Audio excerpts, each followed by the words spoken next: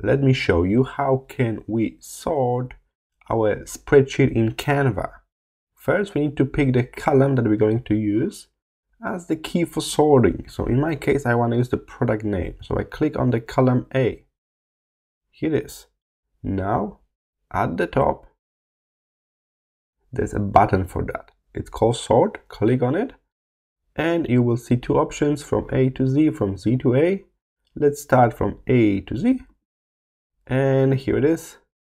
We got everything sorted out. All of the values are adjusted. So the rows are simply reordered We can do it from Z to A. As you can see, it's affecting the whole spreadsheet. So all of the columns are updating. They are moving up and down.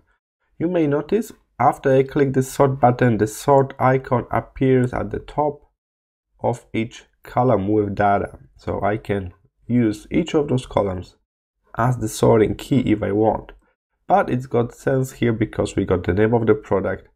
And in my case, that's what I want to see. But I can, of course, sort from uh, the pricing point. So I can sort it from the highest price to the lowest at the bottom or other way around from the lowest price to the highest price.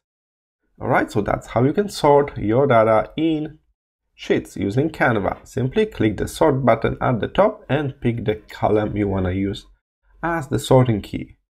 I hope this was helpful. See you in the next one.